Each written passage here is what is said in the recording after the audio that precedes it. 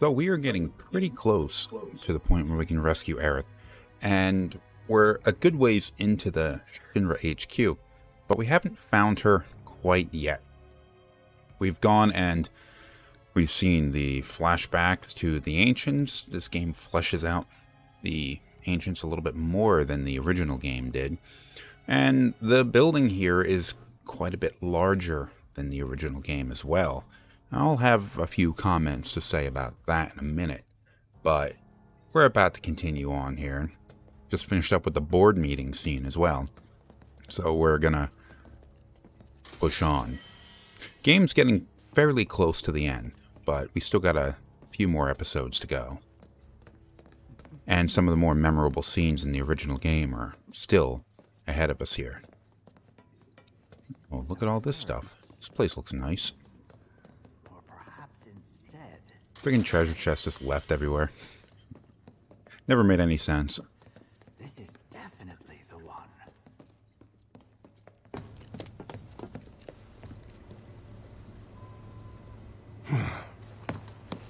Don't move. Hmm. I ain't bluffing. What is this? A dozen bullets in your head, unless you open that door right now.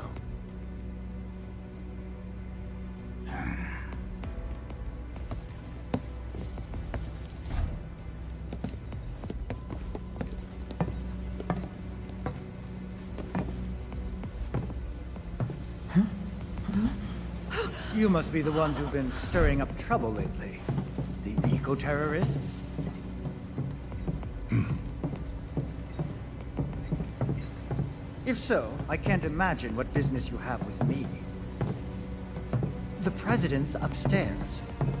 Go on, shoot. Shut up. Keep walking.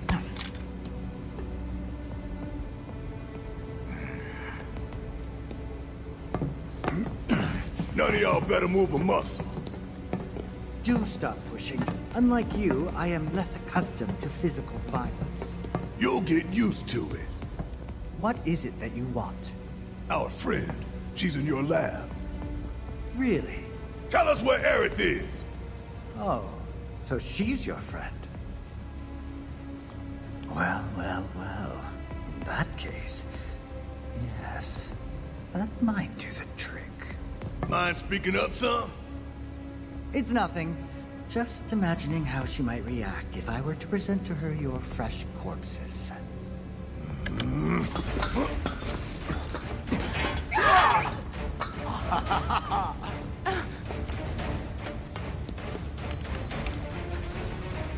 I promise. you will regret this.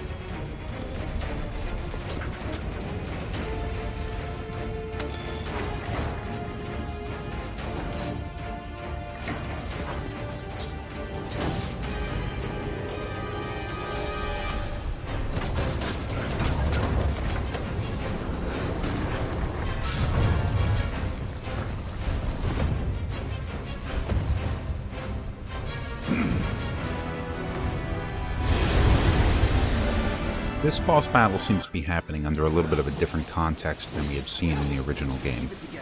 In the original version, this boss and these little sub-boss monsters were occurring as you were rescuing Aerith. She was locked in a tube with Red 13 and uh, it seemed to have been that Hojo was attempting to mate the two of them together, attempting to produce an offspring that would live long enough to have survived Hojo's experiments. I mean, the fact that Hojo wouldn't have survived those experiments either, because it would have taken, you said something like 130 years or something like that. Aerith was young, but she wouldn't have lasted that long. I don't know exactly what the hell he had in mind in terms of experiments either. Especially since we eventually find out that the Promised Land isn't actually a physical place. And, like, what experiments was he expecting to perform on her that would have revealed the location of the Promised Land either? Like, doesn't. None of that seems to track. But in the original version, he was trying to mate the two of them together. In this version, it seems as though he's more. Um, he proposes the idea of mating her with um, like soldier candidates or something like that. This monster, after um, after his attempt to mate Aerith in Red 13 fails, for some reason this monster comes through the elevator. And I don't understand why what Hojo's plan was to load this monster into the elevator, to jam it into that tube with Aerith in Red 13. like, why? I don't know. It served as a boss battle. And one of the, I'd say maybe it's one of the more memorable boss battles because of the scene that it took place following, and it's as you're rescuing Aerith, and the fact that it has these little sub monsters in front of it that it will just respawn.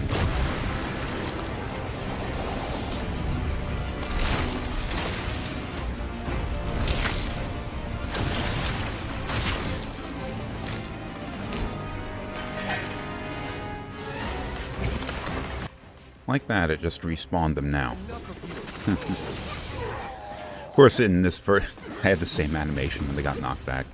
In this game, the they have way more production value that they can put into the respawning and everything that they do. Uh, this game is, I think they had a bit of a problem. I, I definitely mentioned this before. I'm recording this series over a very long period of time, so I kind of lose track over things I may have said before. But I think this game runs into a bit of an issue with the pacing of the story. The original version had all the events that we're seeing, more or less, taking place over a period of maybe your first time playing through it, six or so hours. If you know what you're doing, you can get through that in like like two hours or so. You know exactly where to go. You can just rush through the dialogue. Uh, the battles don't give you any trouble. Not that it's a particularly difficult game, but if you know what you're doing, you can get through a lot quicker. This version turns that first five or so hours into 30 hours. So the game stretches a lot of these story sequences out, not just adding in new sequences or new places or new things like all the submissions take place in the different hub areas of the game, but it stretches a lot of the dungeons out. And I point to the um, sewer system as being in a place that was seriously stretched out, and the train graveyard is an area that was seriously stretched out because, say, the sewers were two screens. Uh, you drop down into there and you fight Aps or raps or whatever it was called, and then you move into another screen, and then you go up a ladder and you're out of the sewers. In this game, you go down there and you fight the boss, the boss monster, and then you have an entire dungeon that takes you like 20 minutes to get through. Cutscenes, dialogue, all that kind of stuff. It takes quite a while.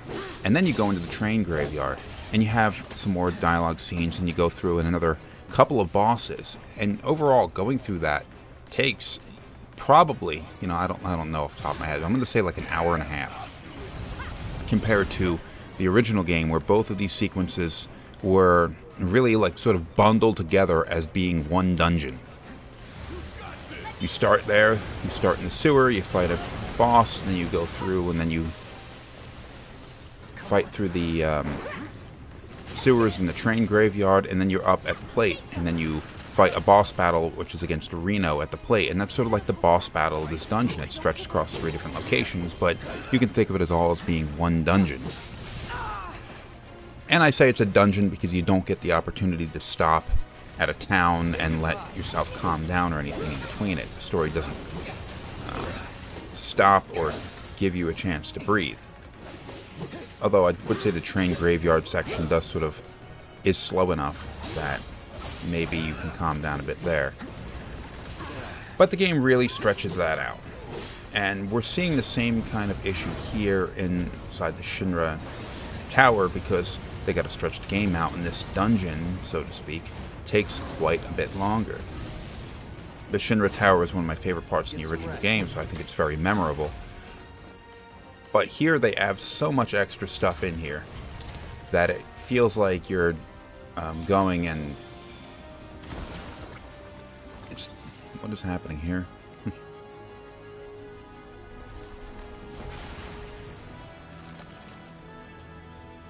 oh, they gassed it up. point I'm trying to make is that the game stretches, uh, adds so much to this that it kind of breaks the traditional pacing of these kinds of games. Because what you want to have is you want to have a dungeon portion of the game where you're playing through, and then you let the game sort of slow down a bit. You land into a town, and then you get to spend some time in there, relaxing a little bit, upgrading your weapons, gearing up, having some chance to talk to NPCs, all that kind of stuff. Then it will put you into another dungeon, and you can work your way through the other side. And each of those dungeons should maybe take like a 20 minutes to a half an hour or so. And that's a pretty good balance of time uh, between like the more action gameplay and the sort of story-based stuff. This, though, because it stretched the original story out, has to rely a lot more on the dungeon side of this, because there aren't really any more towns. They didn't add more towns to the game. So it kind of falls out of balance a little bit, and these gameplay sections, like even though there are a lot of cutscenes in the Shinra Tower section, like there's a cutscene before this boss battle, it doesn't have the same effect. It doesn't. It doesn't um, let you feel like you can relax any.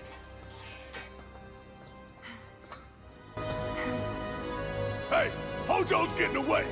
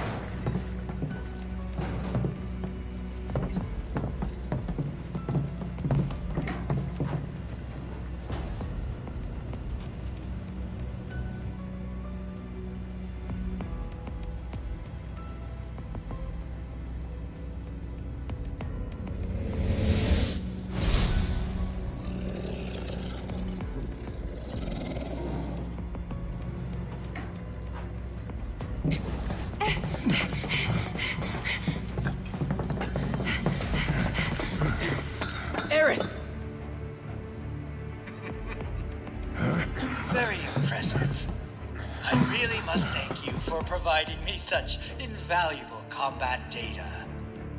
Cocky little egghead, ain't you? The results provided by my predictive models indicate that this force should be more than capable of handling you. Y'all about to learn predictable. We're taking Aerith back. Oh, take her back, you say? Correct me if I am wrong, but did the girl not hear of her own free will? Or do you mean to tell me that she is your personal property? She only came here to save Marlene. I'm afraid you misunderstand.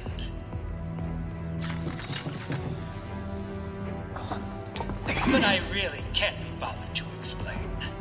This facility is home to extraordinary specimens that will change the world as we know it. Do try to be considerate.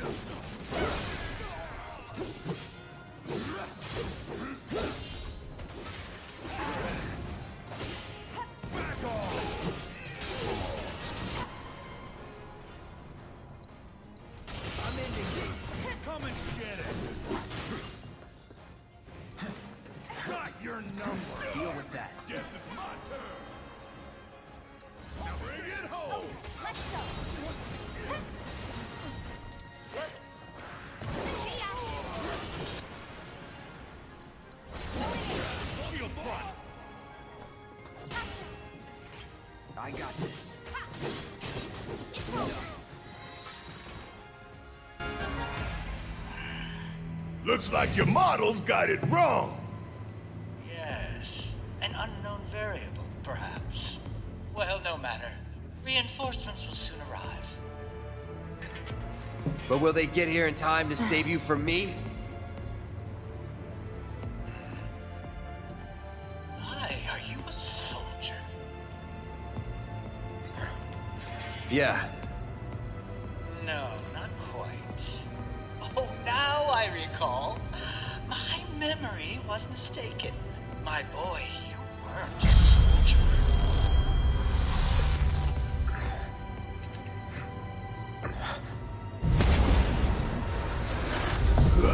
What? Oh, what is this fascinating phenomenon? What's happening? Where are you taking me? What are those things up to this time? Cloud! Barret. Got it. Stand back.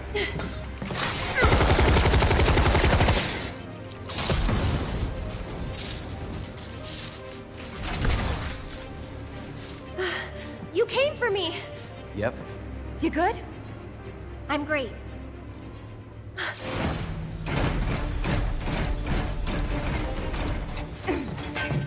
Thanks for saving Marlene. I owe you one. Save it for later. It's getting pretty clear what these things are by this point in the story, these apparition things. They always seem to appear when this game's story is beginning to deviate from the originals, as though there's two forces at work here. One force which wants to change the original story, and one force, which are the ghosts, which want to keep it on course. So, for example, you saw it in the Sector 7 section of the game when Cloud wasn't going to be hired to go on the second bombing mission. Barret didn't need him, or didn't want him there. But then the ghosts show up and Jesse gets injured, can't participate in the mission, forces Cloud to be, or forces Barret to hire Cloud. In this case, we have, well, Hojo is about to go and say something. Or uh, earlier on, Cloud was going to go and kill uh, Reno. Ghosts appear, drag them apart. In this case, Hojo is about to reveal to Cloud that he wasn't actually in Soldier, something which isn't revealed until much, much later in the story.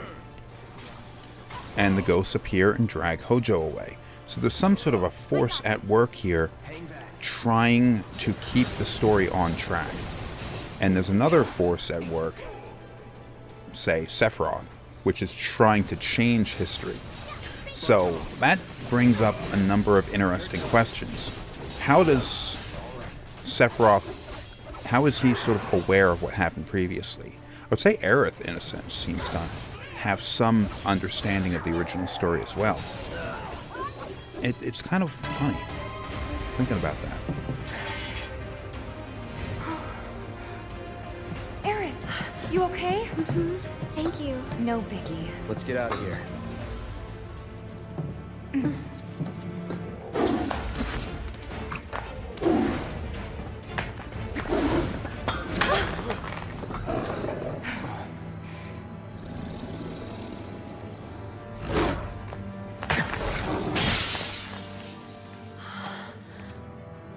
hell was that thing? We need to go. Aerith! What the? Come on. Red 13 did appear hostile when originally encountered in the first game, in the original game, and they're sort of carrying it out here, but they are stretching it out a bit.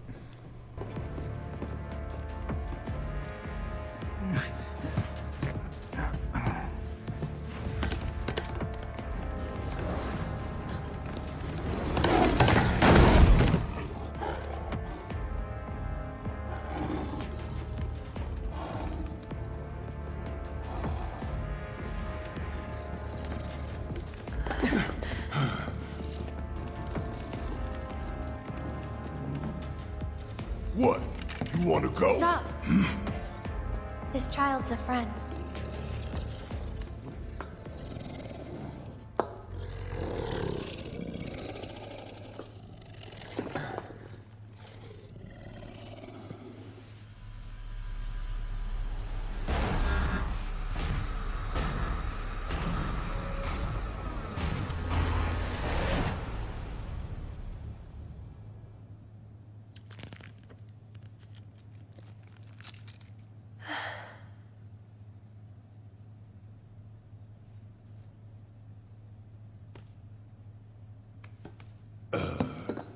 So what the hell is it?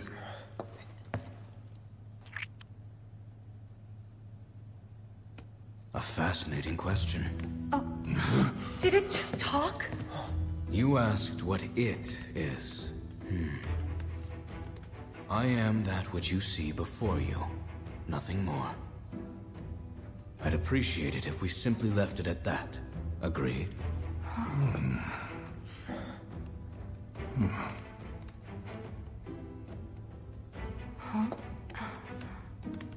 Thirteen?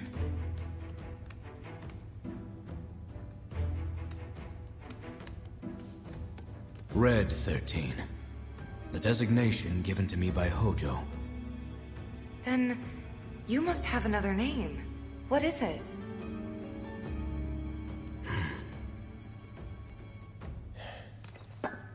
Got away. So, we're gonna go get the son of a bitch.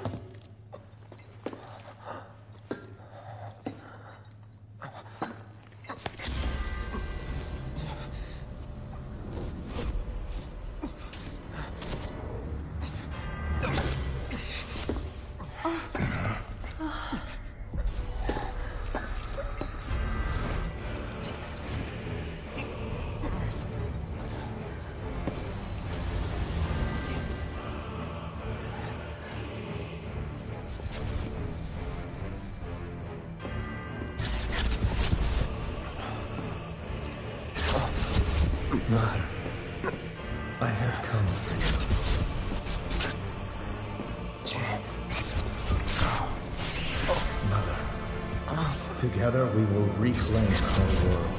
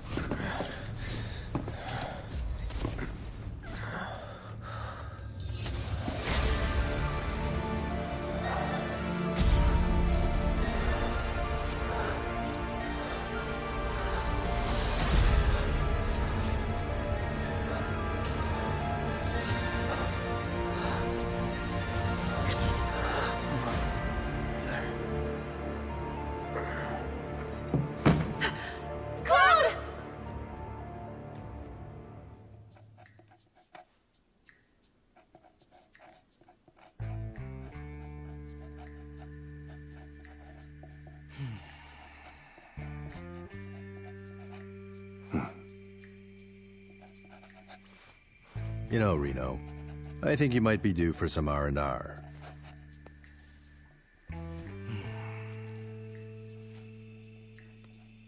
Nah, I'm good.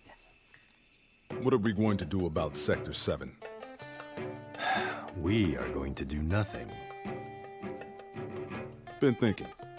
Was all that necessary? Had we refused, someone else would have completed the task. We have spared that someone the burden of a guilty conscience. Perhaps that will ease yours. Yeah, nope. Let's try another tack then. They were a sacrifice to balance the scales. Say what? After everything we'd taken from the planet, we were due to give something back. Do you actually believe that? Does it matter?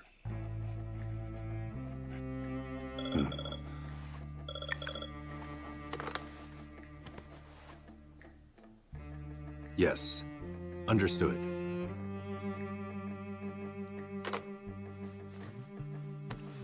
The VP needs us.